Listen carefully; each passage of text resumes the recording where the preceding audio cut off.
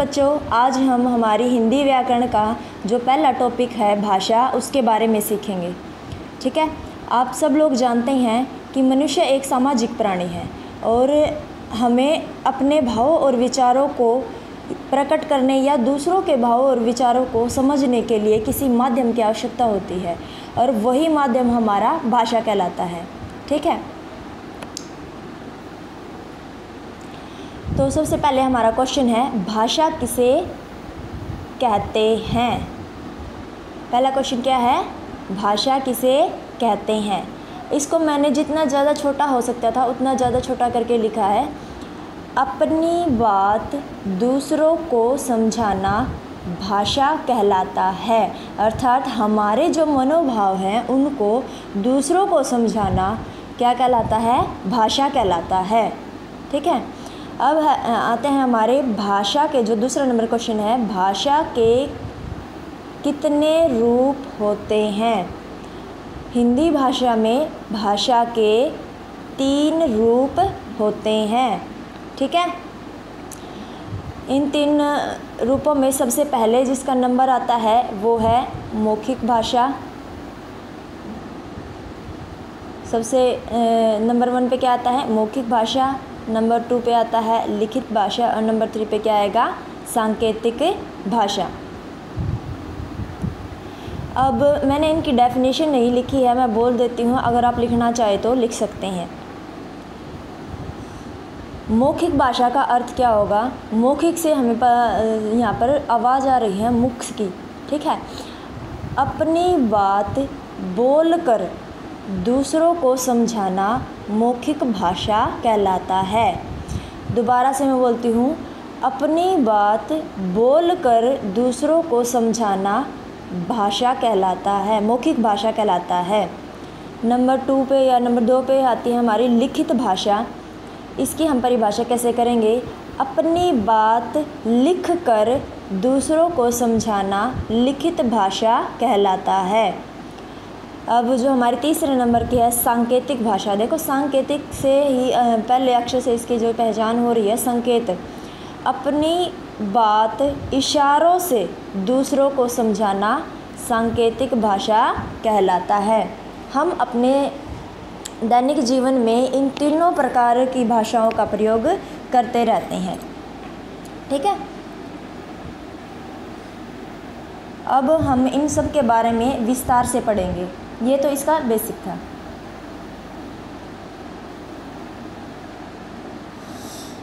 संसार में अनेक भाषाएँ बोली जाती हैं। आप सभी जानते हैं, पूरा जो विश्व है, वहाँ पर सबको अप, सब व्यक्ति जो हैं, अपनी बात दूसरों को समझाने के लिए या उनकी बात समझने के लिए भाषा का प्रयोग करते हैं। तो हर क्षेत्र में या हर देश में अलग अलग तरीके से भाषाएँ बोली जाती हैं। जैसे कि अंग्रेज़ी, फ्रेंच, जर्मन, जापानी, चीनी, रूसी, चेक, स्पेनिश आदि। जो हमारी अंग्रेज़ी भाषा है, वो अंतरा अंतर्राष्ट्रीय भाषा है। अब अंतर्राष्ट्रीय का अर्थ क्या होगा देखो? अंग्रेज़ी भाषा को पूरे विश्व के किसी भी देश में समझा या बोला जाता है। इसीलिए इस भाषा को अंतर्राष्ट्रीय भाषा का दर्जा दिया गया है। ठीक है?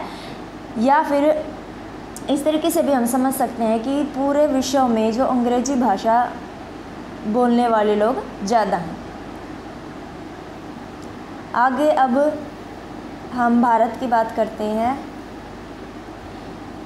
भारत में पढ़ी व बोली जाने वाली प्रमुख जो भाषाएँ हैं उनमें सबसे पहले है हिंदी बांग्ला मराठी तमिल उड़िया आदि।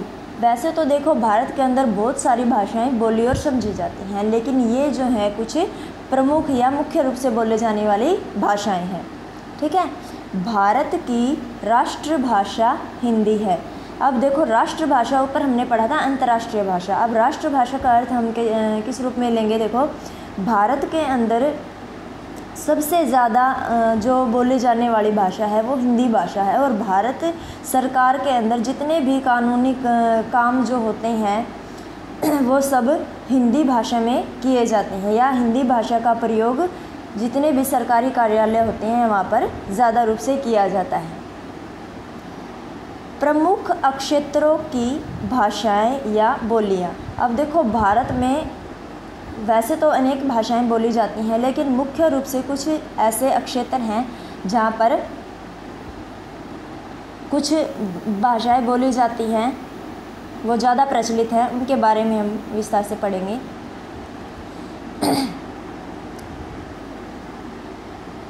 भारत के जो पश्चिमी भाग है, पश्चिमी भाग में बोली जाने वाली कौन कौन सी भाषाएँ हैं?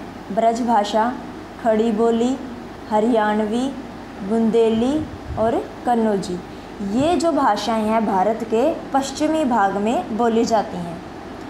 अब दूसरे नंबर पे आता है, भारत के पूर्वी भाग में कौन कौन सी बोलियाँ जो है मुख्य रूप से बोली जाती हैं? इनमें सबसे पहले नंबर पर आती है अवधी, बघेली और छत्तीसगढ़ी। ये मुख्य भाषाएँ हैं पूर्व, पूर्वी भारत की।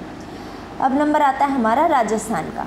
राजस्थान में जो है मारवाड़ी, मेवाड़ी और जयपुरी भाषा बोली जाती है। बिहार के अंदर भोजपुरी, मगही, मैथिली और अंगिका भाषा बोली जाती है। अब आता है हमारा पहाड़ी क्षेत्र पहाड़ी क्षेत्रों में जो बोले जाने वाली मुख्य भाषाएँ हैं, वो है मंडियाली, गढ़वाली और कमाऊनी। देखो, वैसे तो अनेक भाषाएँ भारत में प्रचलन में है, लेकिन उन सभी भाषाओं के बारे में हम नहीं जान सकते। तो मुख्य मुख्य जो भाषाएँ हैं, उनके बारे में मैंने आपको बताया है। अब आते हैं कुछ इम्पोर्टेंट्स जो नोट्स हैं हिंदी भाषा के बारे में, वो आगे दिए गए हैं। ये हमारे जितने भी कंपटीशन जो एग्ज़ाम होते हैं, उनके अंदर इनका महत्वपूर्ण योगदान रहता है हिंदी के क्वेश्चनों का। सबसे पहले हमारा क्वेश्चन रहता है, जो मेन है, हिंदी को 14 सितंबर उन्नीस सौ उनचास को राजभाषा का रूप दिया गया या दर्जा दिया गया? हिंदी भाषा को राजभाषा का दर्जा कब दिया गया? 14 सितंबर उन्नीस सौ उनचास को। ठीक है? संविधान के अनुच्छेद 343 से तीन सौ इक्यावन में ये कहा गया है कि भारत संघ की राजभाषा हिंदी और लिपि देवनागरी है। देखो, जो हमारा संविधान है, उसके अनुच्छेद 343 में 343 से तीन सौ इक्यावन में ये बात कही गई है कि भारत संघ की राजभाषा हिंदी और लिपि कौन सी है? देवनागरी है। अब इन सब में एक अलग जो वर्ड आया हुआ है, लिपि। अब ये लिपि क्या है? देखो, लिपि होती है किसी भी भाषा के लिखने के ढंग को, किसी भी भाषा के लिखने के ढंग को हम क्या कहेंगे? लिपि कहते हैं। ठीक है? जैसे कि हिंदी भाषा की लिपि देवनागरी है, अंग्रेज़ी भाषा की लिपि रोमन है, पंजाबी भाषा की लिपि गुरुमुखी है और उर्दू भाषा की लिपि फारसी है। ठीक है?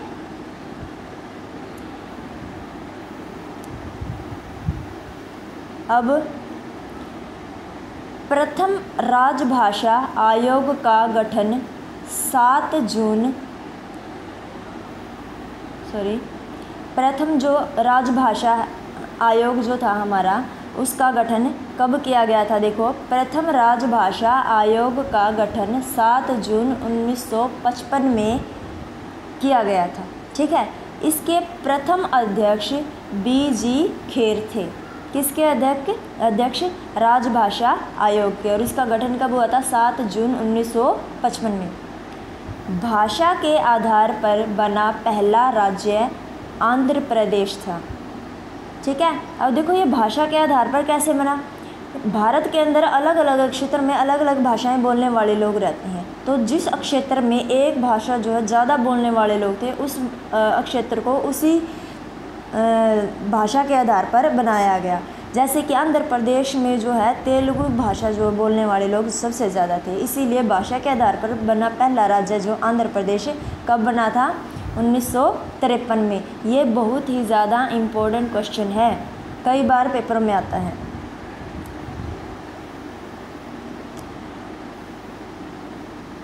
अब देखें, विश्व में बारह भाषा परिवार हैं। पूरे जो विश्व में जितनी भी भाषाएँ बोली जाती है, उनके वो कितने भागों में है? बारह भाषा परिवारों में बटी हुई है और भारत के अंदर चार भाषा परिवार हैं। ठीक है? भारत के अंदर कितने भाषा परिवार हैं? चार भाषा परिवार हैं। अब देखो, जो भारत के अंदर चार जो भाषा परिवार हैं, उनके बारे में अब हम पढ़ेंगे। इन चारों भाषा परिवारों में मुख्य रूप से दो भाषा परिवार आते हैं। मैंने इनको निशान मिला के रखा है। वो पहला है भारोपीय दूसरा है द्रविड़, तीसरा है आस्ट्रिक, चौथा है चीनी तिब्बती। अब देखो भारोपीय जो भाषा परिवार है, उसमें जो कितने प्रतिशत लोग जो हैं इस भाषा परिवार के अंतर्गत आते हैं तो वो है तिहत्तर प्रतिशत लोग भारोपीय भाषा परिवार के अंतर आते हैं, ये भाषा बोलने वाले हैं। द्रविड़ भाषा परिवार के अंदर 25 प्रतिशत लोग आते हैं। या 25 प्रतिशत द्रविड़ भाषा परिवार की भाषाएँ बोलने वाले लोग होते हैं। और आस्ट्रिक और चीनी तिब्बती जो है, आस्ट्रिक है एक पॉइंट तीन प्रतिशत और चीनी तिब्बती है ज़ीरो पॉइंट सात प्रतिशत। भारत में मुख्य रूप से ये दो भाषा परिवार हैं। अब आगे है, भारत की सबसे पुरानी भाषा संस्कृत है। आप सभी को पता है, भारत के अंदर जितने भी हमारे वेद और पुराण हैं, उन सब की भाषा क्या थी? संस्कृत थी। तो सभी भाषाओं का भाषाओं की जननी किसे माना गया है? संस्कृत भाषा को माना गया है। तमिल, कन्नड़, मलयालम, तेलुगु का जन्म संस्कृत से हुआ है। देखो जो तमिल है, कन्नड़, मलयालम, तेलुगु का जन्म कौन सी भाषा से हुआ है? संस्कृत भाषा से हुआ है। ये द्रविड़ भाषा परिवार में आती है, जो हमारे नंबर टू पर था, द्रविड़ भाषा परिवार। अब कश्मीरी, पंजाबी, गुजराती, मराठी, मणिपुरी, असमिया, बांग्ला, उड़िया आदि भारोपीय भाषा परिवार में आती हैं। देखो, जो सबसे ज़्यादा जिस भाषा परिवार में बोले जाने वाले लोग हैं, वो कौन से हैं? भारोपीय भाषा परिवार जो है, सबसे ज़्यादा लोग बोलते हैं। और इनमें कौन कौन सी भाषाएँ आती हैं? कश्मीरी, पंजाबी, गुजराती, मराठी, मणिपुरी, असमिया, बांग्ला, उड़िया आदि। तो आज इस टॉपिक में हम इतना ही करेंगे।